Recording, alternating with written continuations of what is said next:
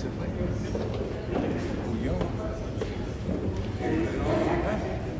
Allá es normal.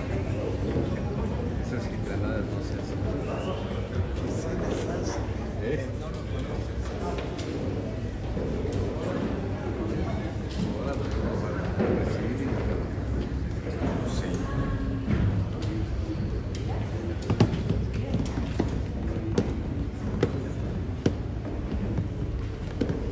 Ya dejaron solo.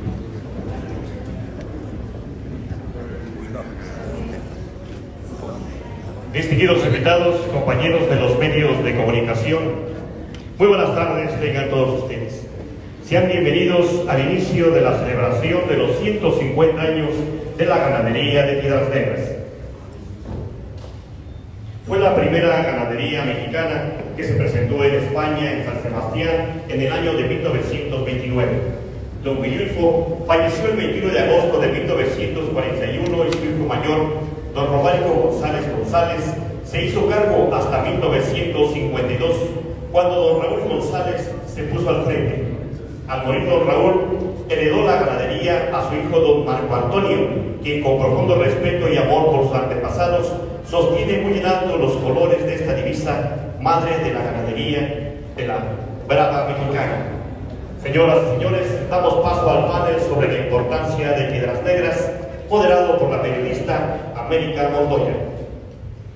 Muy buenas tardes, qué gusto verlos a todos, eh, qué gusto verlos reunidos en una fiesta que no solamente corresponde a los eh, taurinos, a los ganaderos, a los toreros, sino a todos los tlaxcaltecas, eh, por ser considerada una tierra taurina, llena de ganaderías, de veces bravas, y es un gusto de verdad verlos a todos reunidos hoy, pues en una celebración grande que inicia a partir de hoy y que durante por lo menos todo un año será motivo de celebración no solamente aquí en la capital, sino en todos los municipios del estado de Tlaxcala. Así que bienvenidos. Agradezco como siempre la oportunidad de platicar con amigos, amigas, eh, con, con gente a quien respeto y de quien todos los días podemos aprender y pues de tener la, la gran oportunidad del orgullo, del honor de, de presentarlos. Así que para empezar, pues quiero eh, platicarles sobre esta legendaria ganadería de Piedras Negras brevemente, porque ya escucharemos mucho más eh, en voz del autor del libro que hoy estamos eh, por escuchar eh, y de conocer.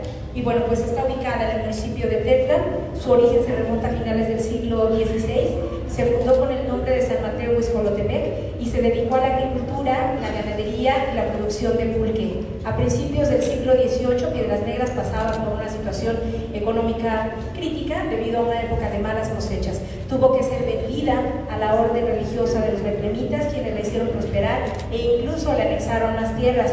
En el siglo XIX, junto con la hacienda de San José de Peyahualco, inició la tradición de la cría del toro de Lidia, siendo una de las más antiguas de México en este campo. Y de hecho, hoy estamos celebrando 150 años como ganadería, pero son alrededor de 450 años de la casa. Entonces, este lugar tiene todavía mucho más historia de la que todos los aquí presentes podemos conocer, bueno, con excepción de don Carlos, que tiene pues toda, la documentación. Eh, en este libro que, que, nos presenta y que por cierto eh, contiene un, prólogo, un prólogo muy interesante que eh, hace poner chiquita la piel para quienes no han tenido la oportunidad de leerlo. Creo que vale la pena eh, hablar de un viaje, creo que es pues por demás estremecedor, de un viaje al que nos llevan las líneas de este libro. Así que nuevamente bienvenidos. Voy, si les parece bien, a presentar a quienes están conmigo esta tarde. Eh, vamos a empezar con las damas, si les parece bien. Así que eh, voy a presentarles a la maestra Mari Carmen Chávez Rivadeneira. Eh, por adelantado le ofrecí una disculpa porque tiene un amplio, muy amplio currículo y bueno, sería un poco complicado leer todas las líneas porque es mucho lo que ella tiene en su haber como investigación, como colaboradora de diferentes medios, ya sea radiofónicos, televisivos, artículos de prensa, en fin, y entonces, bueno, me permití, maestra, hacer un muy breve, es muy breve, sé que me quedaré muy corta, pero un breve resumen. Ella es licenciada en Sociología por la Facultad de Ciencias Políticas de la Universidad Nacional Autónoma de México. Eh, tiene, insisto, amplias eh, participaciones en publicaciones taurinas, no solamente en nuestro país, también en el extranjero, en universidades como la UPAER, en el Círculo Taurino, la Dirección de Bellas Artes y Proyección Cultural, Tiene muchos años, más de 20 años dedicados a la investigación del tema, eh, a la publicación de documentos, de colaboraciones, de conferencias, presentaciones, eh, ya decía, en medios como radio y televisión, en revistas especializadas, taurinas como Campo Bravo, 6 Toro 6 y Matador, entre otras. Es autora del libro Mi Capote de Paseo. También es pregonera, por cierto, es la primera mujer pregonera y fue aquí en Tlaxcala, en la feria de Guamantla. Un gusto, un gusto haberla acompañado ese día. Eh, una mujer que ama la tauromaquia, todos somos testigos de ello, es defensora, es una impulsora férrea y convincente además, sobre todo con las nuevas generaciones, es eh, del conocimiento, eh, ella lo fomenta el conocimiento, la historia y los valores de la fiesta brava. Y otra vez, no son datos tal vez curriculares, pero son los datos que te caracterizan, querida Mari Carmen, y, que hacen que Tlaxcala no solamente apreciemos lo que haces por la fiesta brava, sino que cada vez que vienes, te lo dije un momentito, iluminas a Tlaxcala de colores. Gracias.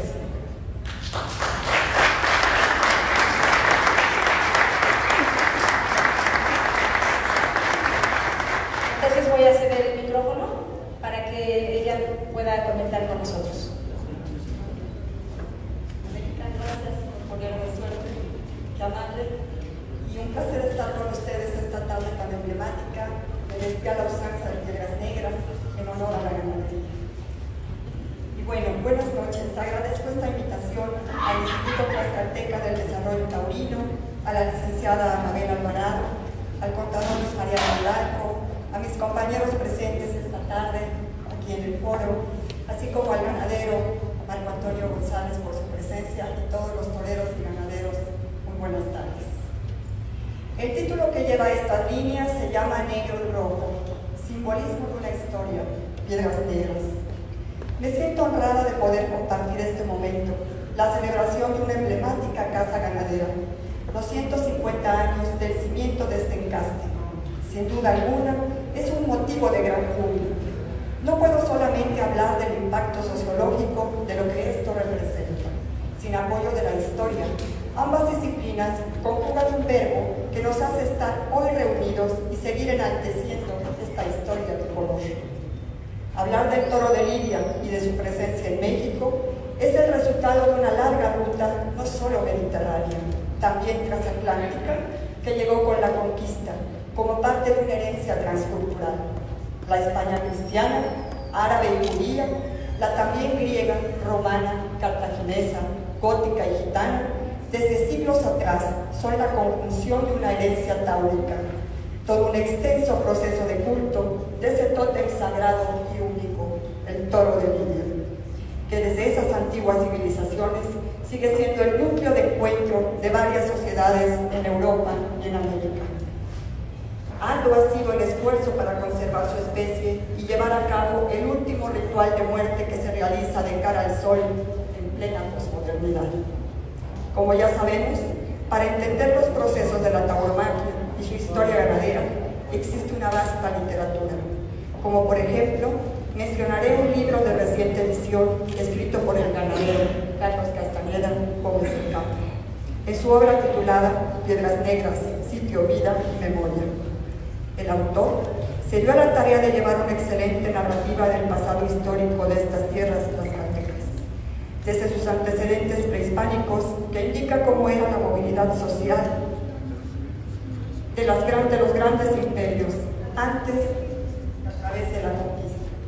Por ello, el encuentro de dos mundos, conquistadores e indígenas, formaron parte de un intenso enfrentamiento bélico, todo un proceso de transformación de vida que modificó poco a poco la estructura social y política que existía, en la que también llegaron las corridas de toros fenómeno que no costó trabajo entender en su profundo significado, ya que en esas sociedades se rendían ceremonias y un complejo ritual de culto al sacrificio de los dioses.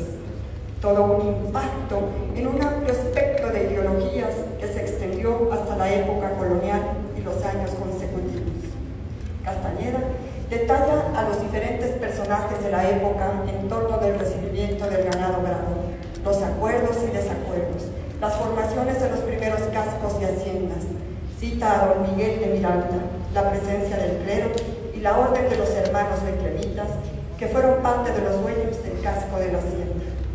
Todo un largo paseillo de personajes que al vivir en estas tierras también fue determinante el tema del trabajo, que modificó la participación de la gente en sus labores diarias, formando diferentes estructuras sociales. Pero Piedras Negras es toda una leyenda, un emblema, producto también de esta conjunción, que dio como resultado un cimiento en el campo de San Mateo, Huizcolotepec, que alrededor del valle también dio pie a una nueva sociohistoria.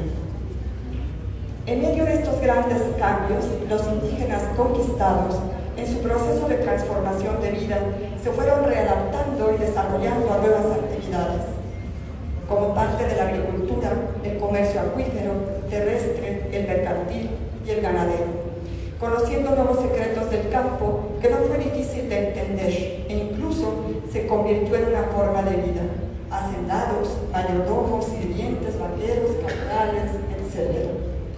Entre el vuelo de quetzales se escuchaba también el mugir de los toros provenientes del tronco de Saltillo, que por la nobleza del campo pudieron reproducirse gracias al largo trabajo de todo un linaje de hombres y mujeres comprometidos en esta labor de crianza.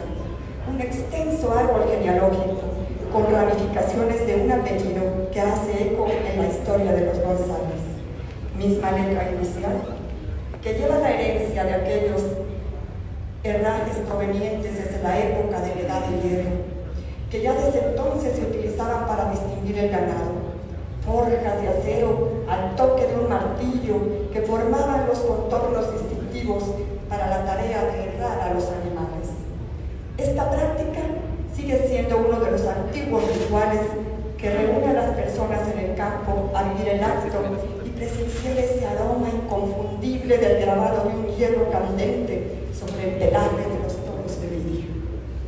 Piedras Negras lleva en su forja la letra y una base de pedestal que parece sostener el peso de ser una ganadería prosapia.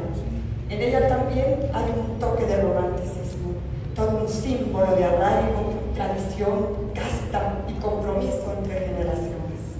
En este sentido, cito a José Ortega y Gasset por la importancia de heredar generacionalmente la cultura, el lenguaje, las tradiciones, en este caso el culto y respeto a la crianza del toro de línea. Rendir homenaje hoy a los ganaderos de aquel entonces representa una ascendencia en el que cabe mencionar los nombres de Ramón González de Silva, Mariano González, José María González, don Viliurco González, Raúl, Susana, Don Luis, Románico, y cantidad de ellos que siguen extendiéndose hasta su actual eje de, crianza, Marco Antonio González. Es relevante subrayar que don Villulfo fue el iniciador en México de la tienda a campo abierto, además de realizar antiguas prácticas como el acoso y derribo, en donde se pueden apreciar las antiguas fotografías, la cantidad de personas que se reunían construyendo verdaderas vallas humanas a manera de ruedo todo un fenómeno antropológico y sociológico alrededor del toro de Lidia y su etología única, la que siempre nos ha llenado de asombro por el misterio de su gran En la fiesta de los toros, todo es simbología.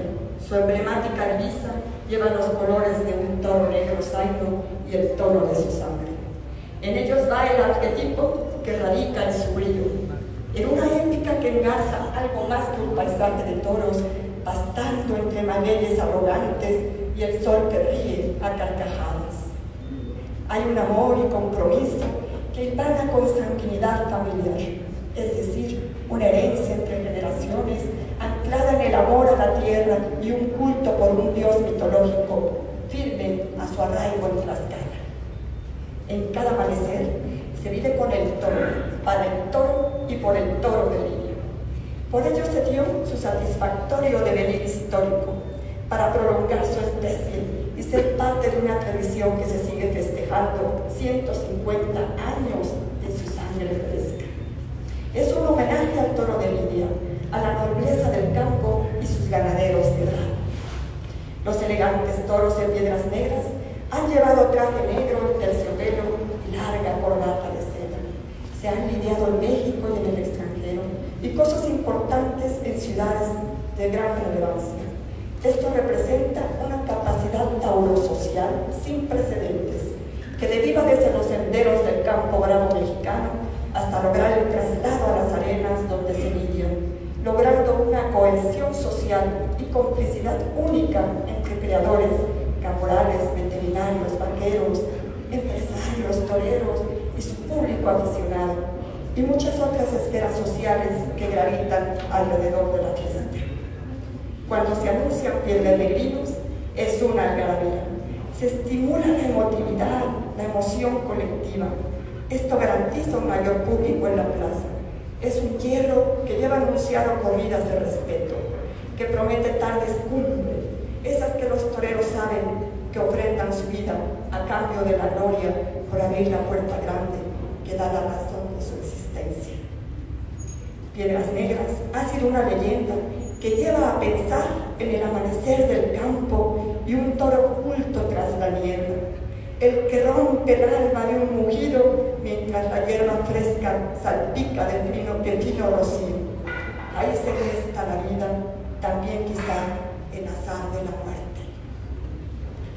La plaza de toros representa un círculo absoluto, un juego de azares en un rostro claroscuro, la vida y la muerte que bailan en una danza erótica de afiladas astas. Quizá por eso en la tauromaquia se entiende que también hay tardes históricas como la del toro bordador, ideado por Rodolfo Gabón.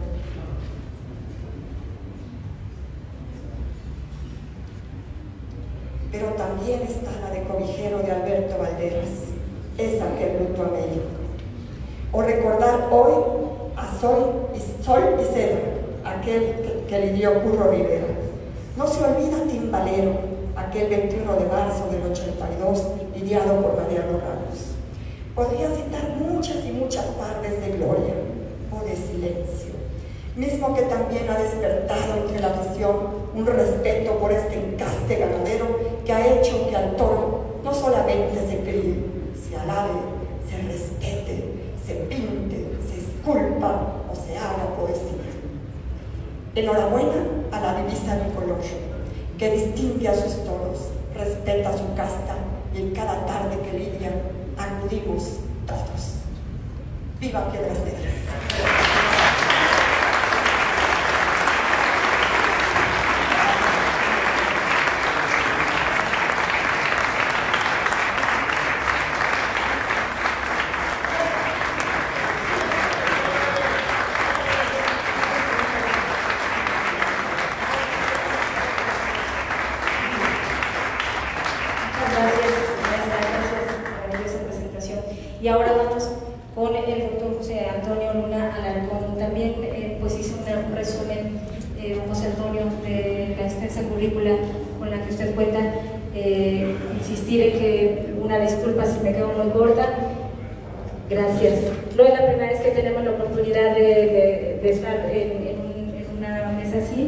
y no la primera vez que tengo el orgullo de presentarlo.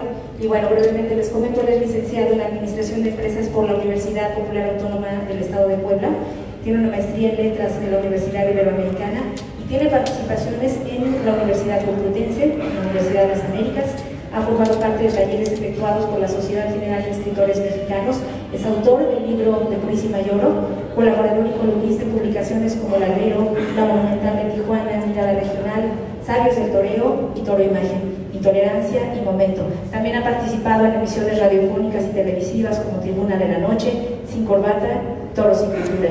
Y bueno, pues él también es un amante y aficionado a los toros, conocedor y no solamente conocedor, aportador del tema. Así que le damos la bienvenida, les pido un fuerte aplauso para él y vamos a escucharlo.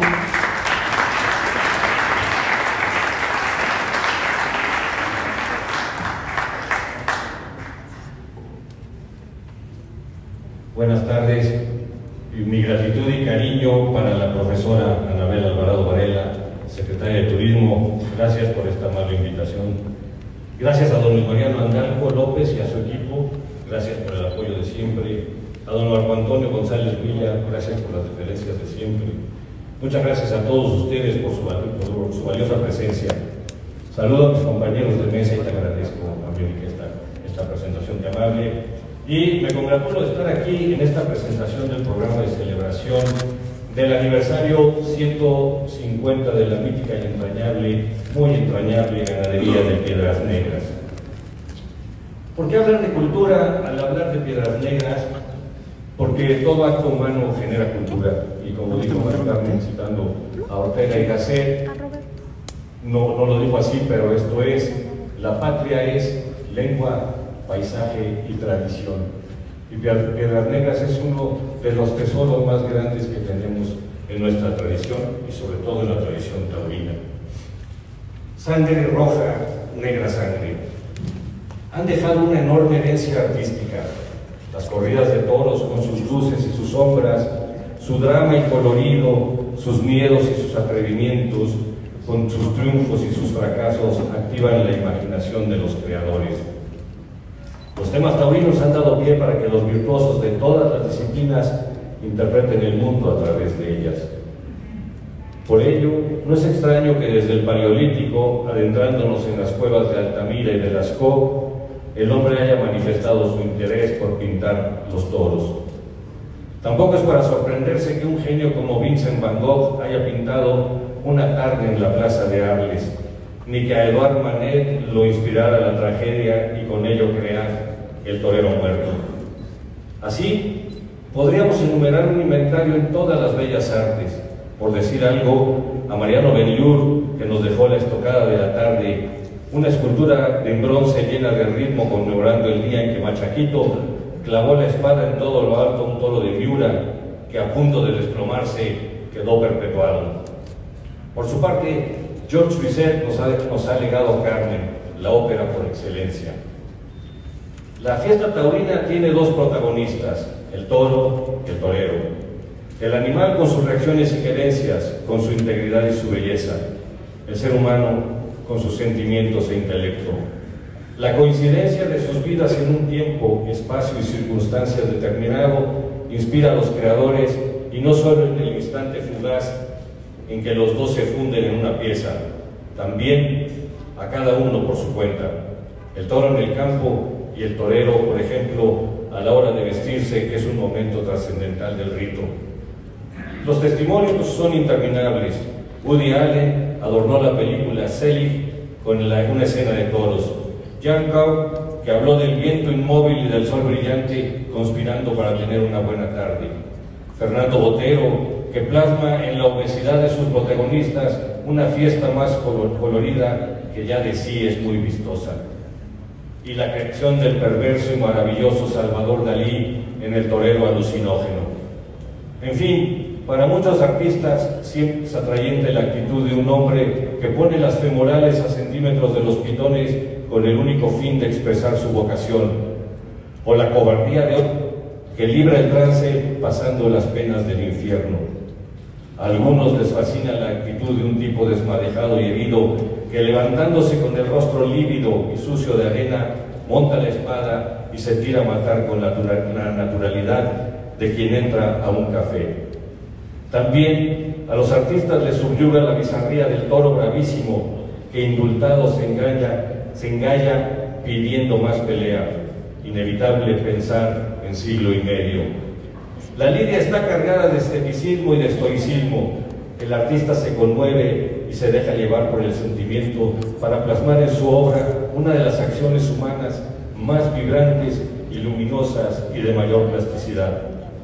Además del arte, el toro bravo cumple un papel muy relevante en el entorno ecológico. Las ganaderías son santuarios de especies endémicas, además de reservas naturales. El toro es arte, Piedras Negras es arte porque la finalidad más importante del, toreo es crear belleza al filo del peligro de la muerte. El toro es cultura, piedras negras es cultura, porque es una expresión humana que implica diversas disciplinas. El toro es ecología, piedras negras es ecología, porque en sus potreros, con guardianes tan temibles como son sus toros, se convierten en un santuario.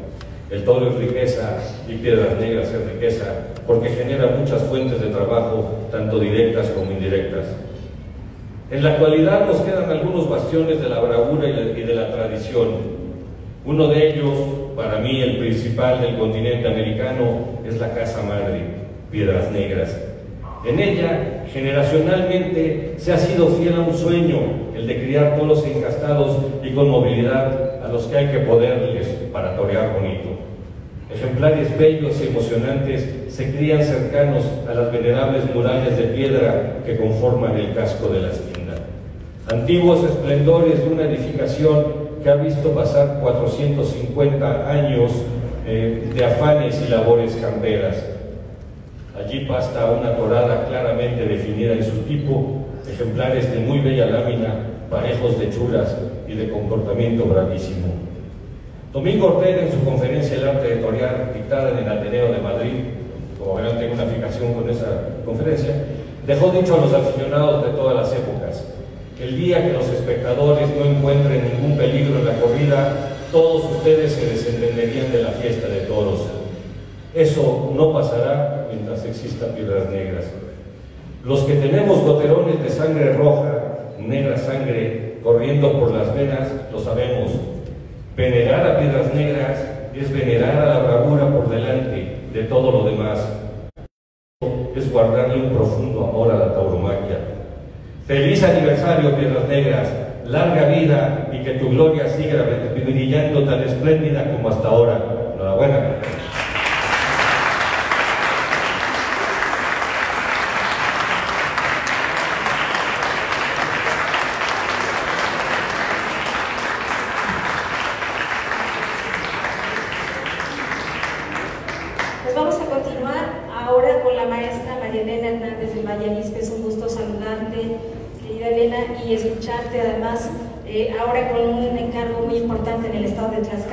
como coordinadora de programación cultural de la Secretaría de Cultura y pues en un tema en el que siempre has formado parte, en el que siempre has defendido y del que conoces mucho y por eso felicitarte por esta responsabilidad, desearte mucho, mucho éxito. Y bueno, pues además eh, todos sabemos que Marilena es amplia promotora cultural y además conocedora de la gastronomía de Tlaxcala. Así que es un gusto presentarte y escucharte también. Un fuerte aplauso para ella.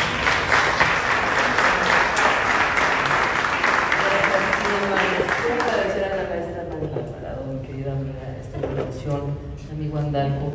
Me siento muy emocionada de ver tantas caras conocidas de los ganaderos, los matadores, tantos amigos de toda la vida.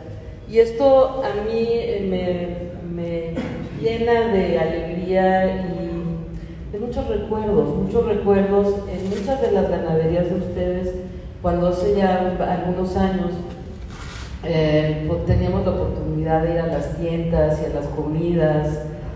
Hablar de cultura es hablar de, de toros en Tlaxcala, no, eso no, de eso no queda duda. Cuenta mi padre que fue, la, fue a la inauguración de la Plaza México cuando era niño todavía. Entonces vengo de una familia que ama los toros, de una familia que respeta la tradición, eh, y tenemos muchos, muchos amigos que nos han convidado de deliciosos platillos en, en, tantos eventos, en tantas tiendas y antes o después de las corridas. A mí me gusta mucho citar al gastrónomo francés Villar Sadarán, que eh, opinaba que para el ser humano es más importante descubrir un sabor, un platillo, que un astro. Y al mismo tiempo, eh, me gusta citar al eh, filósofo alemán Feuerbach, que decía, ¿quién no ha repetido esta frase? El hombre es lo que come. Entonces, otra de las razones por las que me siento conmovida es que aquí están muchos de los portadores de dos o tres generaciones, portadores de nuestra memoria histórica, Hablar de comida es hablar de memoria histórica, es quién no, hace, quién no se siente apapachado y feliz cuando le llega el aroma de un guisado de la abuela, por ejemplo. ¿no? Eh, hablar de gastronomía es hablar también de identidad. Creo que, como dicen los cronologistas de mi libro, eh, eh, es no es por qué se vive o por qué se come, es cómo y cómo los aromas, los sabores los colores nos remiten a otras épocas, nos reviven las memorias. Entonces, fue por eso que escribí un libro, Memorias en Mole de Olla, eh, con una beca de Conaculta ya hace muchos años, y tuve la oportunidad de hacer más de 80 entrevistas con muchos de ustedes, mis amigos, y con muchos portadores de la memoria histórica, que con pena veo que se han perdido, pero no en las haciendas, en donde todos nuestros amigos siguen la tradición y ahí viene el tema del mestizaje de la cocina en Tlaxcala, que tiene un tinte totalmente indígena, pero en las haciendas fueron donde se dio el mestizaje y se hicieron las combinaciones del maíz con todos esos guisados más españoles, más europeos, la cocina de la crema, de la leche, del vino y del aceite de oliva, no era la comida del pueblo, pero fue en las haciendas donde comenzó este mestizaje tan interesante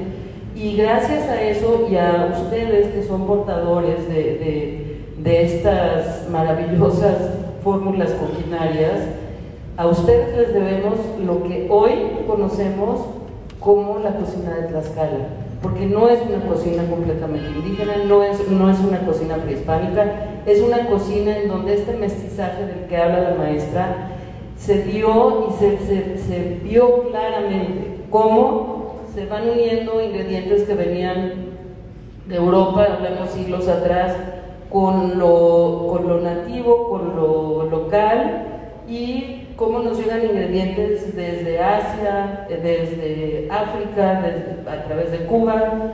Entonces esta, esta riquísima herencia, ustedes son los portadores y nos va a dar mucho gusto que puedan heredar a las siguientes generaciones y nos puedan dar el gusto de saber que en las haciendas se come bien. Y que 150 años se dice fácil, pero felicidades de Piedras Negras, en verdad, les veo muchas caras de la familia, es un gusto y es un honor, bueno, es una bandera, Piedras Negras es una bandera para Tlaxcala que nos llena de orgullo, muchas felicidades.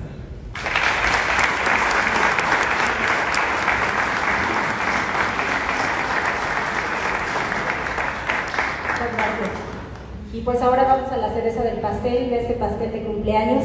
Vamos con el autor del libro Piedras Negras, sitio, vida y memoria. Voy a presentarles al ganadero de Reses Bravas, Carlos Castañeda Gómez del Campo, investigador, ¿sí? Investigador, autor de la historia auténtica de la ganadería de Piedras Negras, su entorno, su gente, sus toros, ganadero, defensor del toro de Tlaxcala, sus orígenes y sus ganaderías, amigo de los grandes ganaderos, a quienes conoce y describe como aquellos que consiguieron consolidar la obra de los primeros criadores de nuestro país. Ferviente admirador de Encaste González y su descendencia, Carlos Castañeda fundó su vacada hace 25 eh, años con reses de, de aro, ¿no? A ver si ahorita corregimos el dato, más, pero bueno, pues aquí lo tenemos y es un gusto saludarlo, compartir con ustedes este espacio y escucharlo. Un fuerte aplauso para él. Gracias.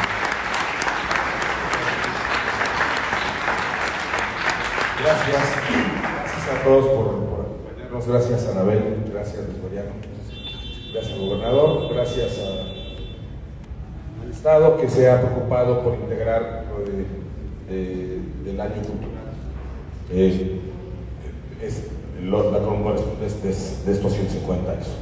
Sin embargo, en lugar de ir a, la historia, se recordar los viejos tiempos, está bien quienes tuvimos la sociedad de investigarlos, ahí están, ahí están los papeles. Yo creo que mejor vamos a festejar la vida, la vida de estos 150 años. Aquí hay muchos González, Don Hugo, Javier, Toño, Juan Antonio, Marco, Nacho, Polo. Aquí están los dos muchachos angelinos cuya familia nació y está en Piedras Negras. Por allá atrás está Miguel, que se, crió en Piedras Negras y se mató a todos en Piedras Negras. Y eso es la vida del Estado, la vida de nuestras tradiciones, la vida de una amalgama cultural que viene desde muchísimos años, pero que hoy está aquí, sobre todo, gracias a Marco Antonio. Porque se dice fácil, pero continuar lo que después de tanto tiempo estuvo en la cima del toreo y llegar a, a una casa donde había que luchar a contracorriente. Los tiempos cambiaron, los años aquellos maravillosos de todas las figuras del toreo peleando los, toros de tu padre, de tu, de tu abuelo, de tus tíos abuelos, ya no estaban mal Y hay que tener un par de cojones para echar la barbura por delante, pero como tú como persona. Los toros cumplirán las tareas que cumplen, las que, las, que no cumplen no.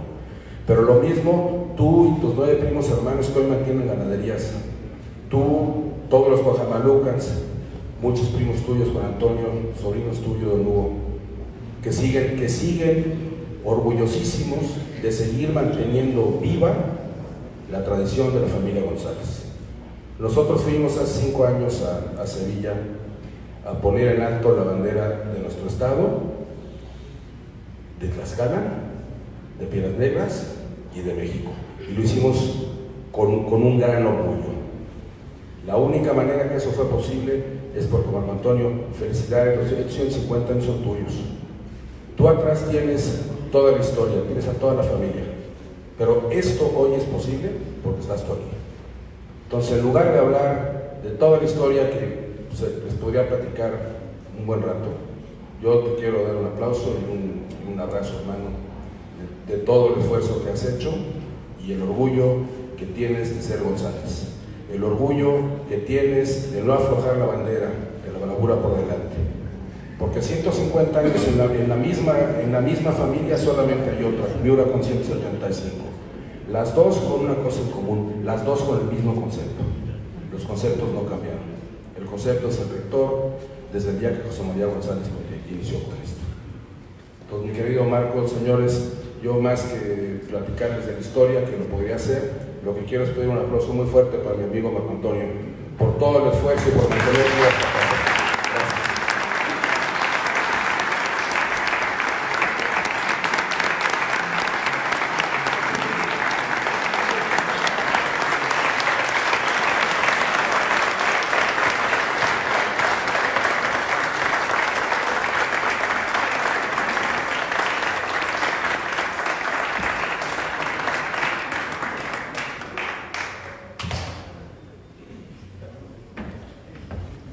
Bueno, eh, rápidamente porque eh, me la maestra que hay un dato que olvidó comentar y creo que vale la pena decirlo. Sí, gracias a la iniciativa de nuestra secretaria de Turismo, mi querida Anabel, se va a inaugurar una exposición en la galería perimetral de la sede de la Secretaría de Cultura Federal sobre Piedras Negras, muy próximamente.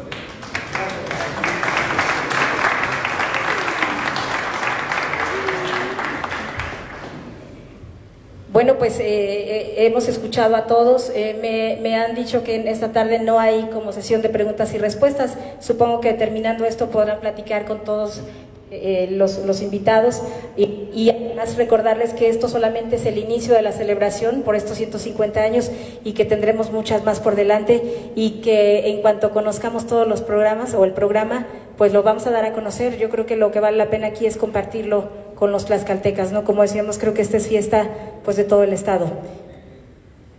Vamos a continuar, parece que hay eh, más. Muchas gracias por su atención.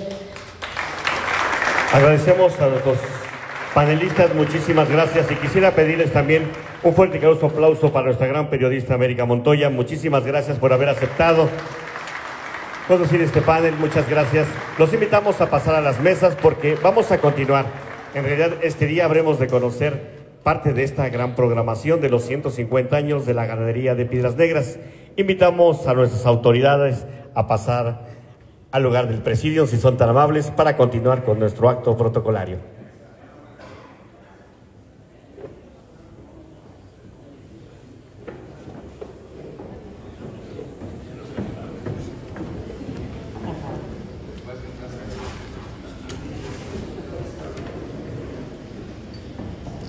Muchas gracias. Los invitamos a tomar asientos si son tan amables.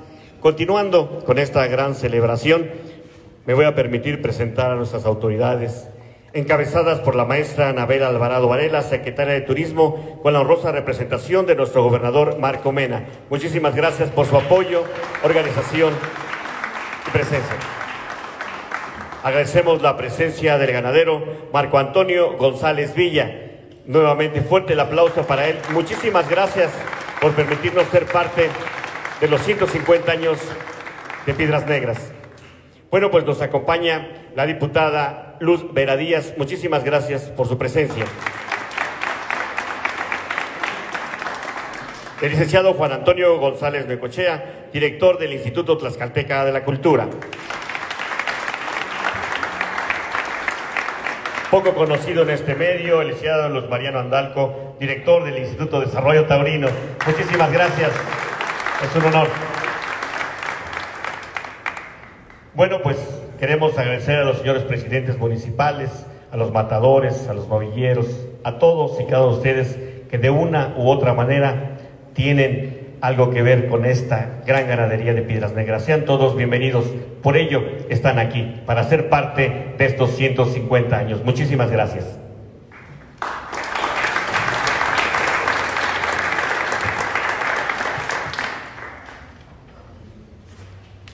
Vamos a cederle el uso de la palabra al licenciado Juan Antonio González Necochea, director del Instituto Tlaxcalteca de la Cultura.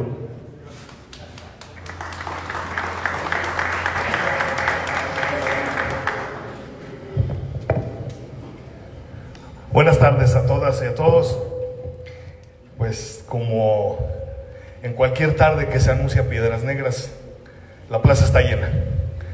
A convocatoria de Piedras Negras, vamos a los toros, porque los carteles dicen corridas de toros, vamos a ver a los toros y vamos a ver a los matadores jugársela ante los toros de Piedras Negras, porque tienen emoción, porque convocan y porque tienen 150 años de tener la bravura por delante. Y nos tenemos que felicitar todos por esto.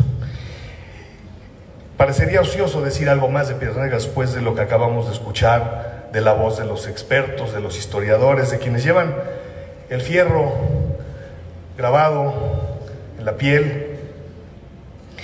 Y pues yo solo quiero hacerles un par de reflexiones como aficionado, como tlaxcalteca, como descendiente de ganaderos primo de Marco, primo de los González de Tlaxcala. Y es que tenemos que tener los pies en la tierra en estos momentos tan difíciles para la fiesta. Tenemos que conmemorar los 150 años de Piedras Negras, que es casi un tercio de la historia de Tlaxcala, un poco más en el sentido físico de la hacienda, como me decía hace rato Toño de Aro, pero 150 años de ganadería, y a 150 años tenemos que volvernos sin cortapisas, sin miedo, defensores de la tauromaquia. Y tenemos que hacerlo porque es una de nuestras tradiciones más arraigadas, es una de nuestras tradiciones más queridas y que más nos dan identidad y cultura. Y la bandera de Piedras Negras es la que mayor antigüedad tiene y la que más convocatoria tiene para reunirnos en torno a esto. Y a propósito de ello, quiero agradecerle a la secretaria de Turismo, que hoy viene en representación del señor gobernador, de todo su equipo de trabajo, de los funcionarios del gobierno del Estado, que hayan tenido esta iniciativa de conmemorar los 150 años con, todo, eh, con toda la importancia que tiene esta fecha, con todo lo que arrastran estos 150 años de historia, de tradición, de orgullo que vimos afortunadamente coronados con el indulto del 123, tres siglos. Sí, 123. 150, no, pero el toro era el número, ¿qué número era? 23. Bueno, del siglo y medio. Que dos años antes, les cuento una anécdota, ¿eh? dos años antes se tomaron unas fotografías para hacer un libro que pronto saldrá a, a la luz sobre el orgullo, se llama Orgullo por Tlaxcala. Y hace dos años el ganadero escogió ese entonces novillo para que ilustrara este libro. Dos años después, este mismo toro fue indultado. Bueno, y entonces, pues agradecerle a Anabel, a la Secretaría de Turismo, a todos los funcionarios, a todos los que han hecho posible esta conmemoración y compartir con ustedes eh, que este año, el año pasado ya Anabel se eh, dio a la tarea de, pues, hacer muchos eh, festejos, muchas conmemoraciones de los 500 años con todo éxito. eh, venimos de la conmemoración de los 500 años y este año serán el de los 150 años de Piedras Negras. Y hemos preparado desde la Secretaría de Turismo, desde luego del Instituto Taurino de Desarrollo Taurino a cargo del contador Luis Mariano y del Instituto Tlaxcalteca de la Cultura, una serie de actividades. Y voy a mencionar solo algunas de ellas por la importancia, aunque habrá muchas más. Pero les ruego, me disculpen la insistencia, la mayor celebración y conmemoración que podemos hacer es defender la fiesta, todos los días, desde todas las trincheras que tengamos a la mano. Empecemos que en marzo, del 3 al 5 de marzo, en el Centro de las Artes en Apizaco, se realizará la Semana de la Cultura y el Toro, en, el marco de la, de la celebración de 150 años de Piedras Negras. Habrá conferencias, tendremos la presencia de los matadores Alejandro y Diego Silvetti, se presentará el libro Toreros de hoy y siempre, ah, habrá un concierto en la Plaza de Toros Rodolfo Rodríguez El Pana en Apizaco.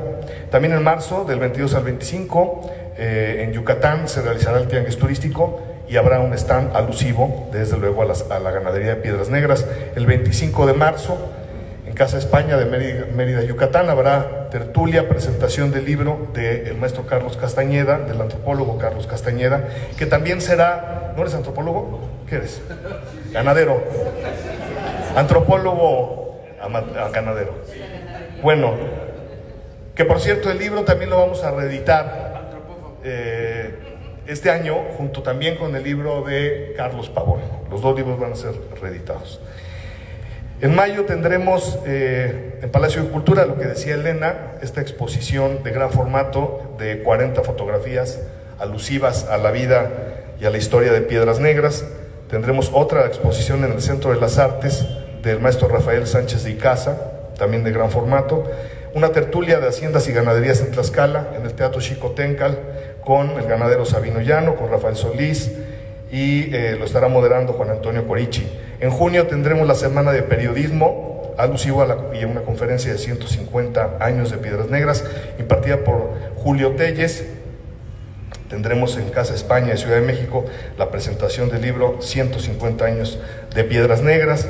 En julio habrá actividades en Alzayanca, eh, con una develación de una placa en la Plaza de Toros La Morenita, otra en Tetla, aquí está el señor presidente Eleazar, en la Plaza de Toros Don Raúl González, eh, habrá una tertulia con el, matador José Luis Angelino, el maestro Leonardo Páez, tendremos también en Alceyanca una conferencia con Antonio de Aro, Mari Carmen Chávez, Neira.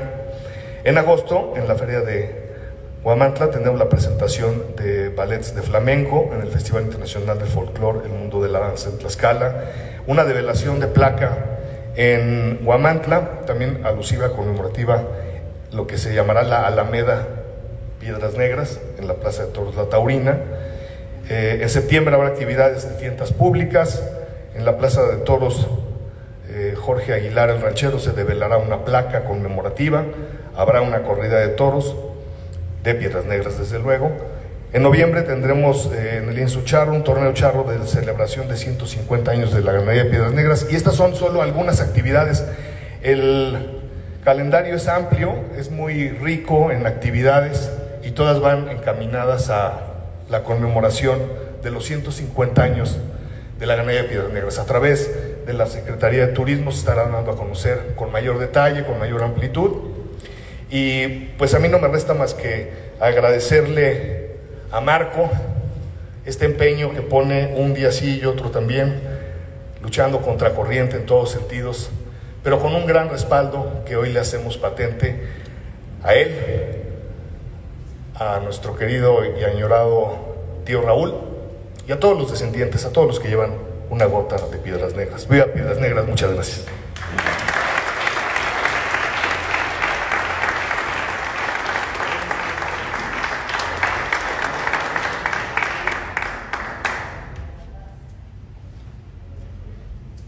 nombre del señor gobernador, escuchemos a la maestra Anabel Alvarado Varela, secretaria de Turismo del Estado.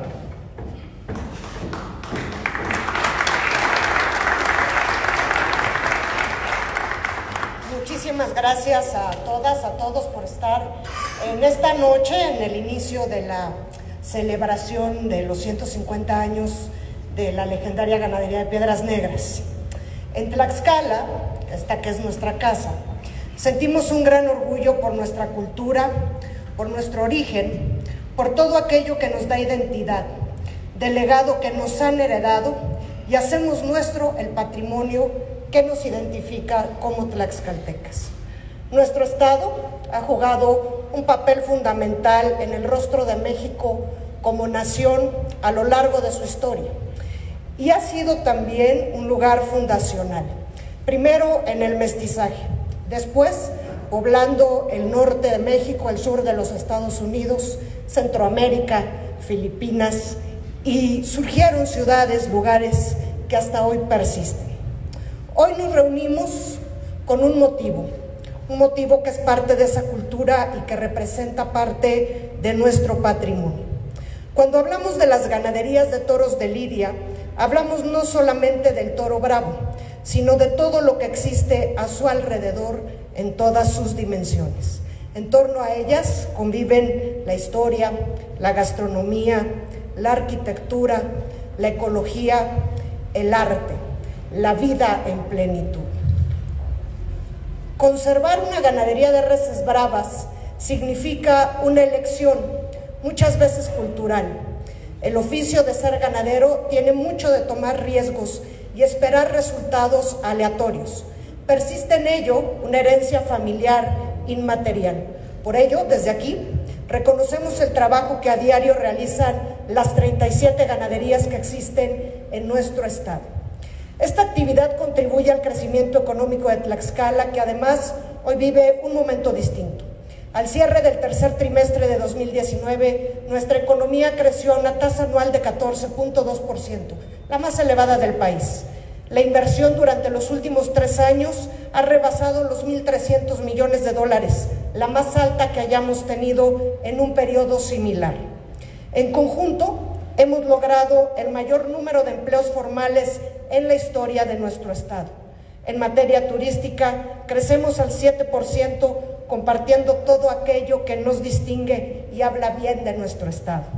La tauromaquia, desde todos sus aspectos, suma al desarrollo permanente de nuestro Estado. Tlaxcala es un lugar de turismo cultural y de un gran patrimonio. Por eso quiero agradecer especialmente a mi amiga, la diputada Luz Vera, presidenta de la Comisión de Cultura del Congreso del Estado, que nos acompaña el día de hoy en este evento, porque significa que hacemos equipo con el Instituto Tlaxcalteca de la Cultura, con el Instituto de Desarrollo Taurino y con el Gobierno del Estado para poder hacer de Tlaxcala el lugar que todas y todos queremos en materia cultural. Y hoy queremos compartir con ustedes un elemento más de nuestro patrimonio.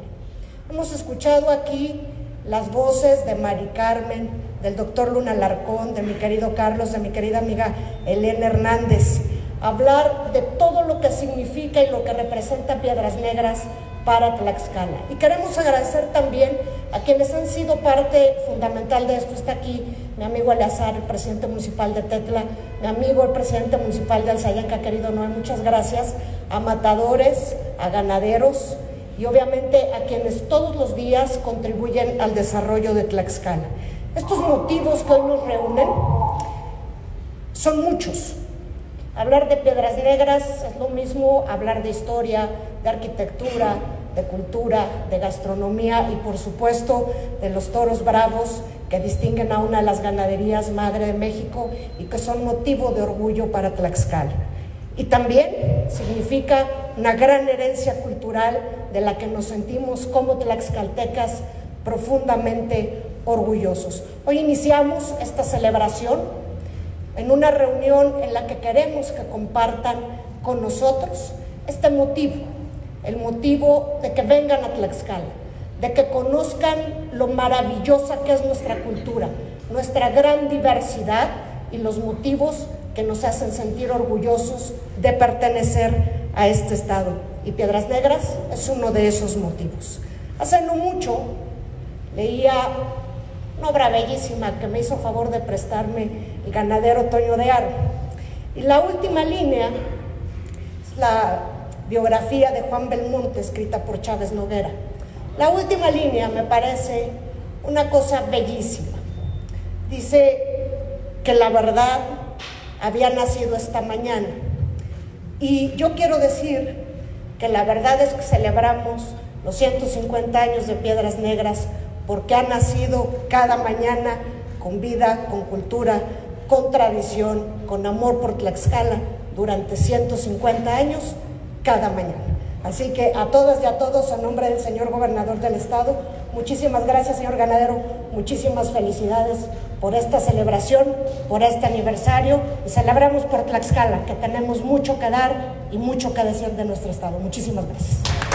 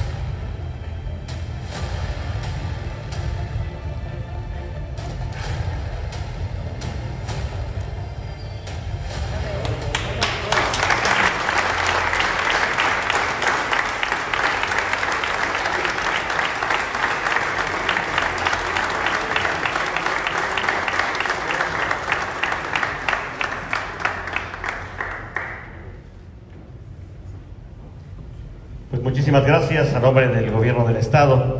No nos resta más agradecer la presencia de todos y cada uno de ustedes que han sido y seguirán siendo parte de esta ganadería de Piedras Negras. Los invitamos a disfrutar de un cóctel para todos ustedes y nuevamente muchísimas gracias. Muy buenas noches.